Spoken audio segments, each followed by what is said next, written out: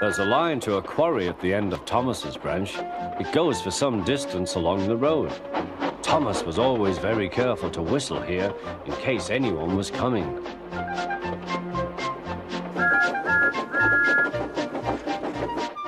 Early one morning, a large policeman was sitting close to the line. Thomas liked policemen. He had been a great friend of the constable who had just retired. Peep, peep, he whistled, good morning. Thomas expected that the new constable would be friendly too, but was sorry to see that he didn't look friendly at all.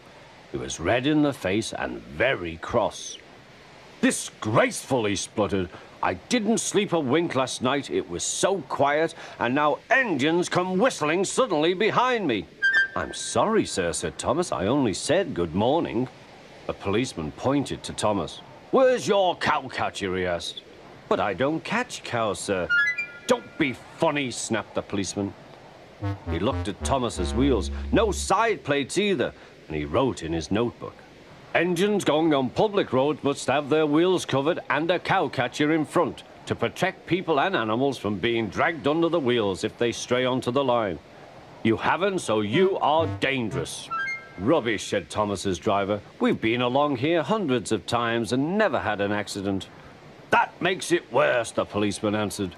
He wrote regular lawbreaker in his book. Thomas puffed sadly away.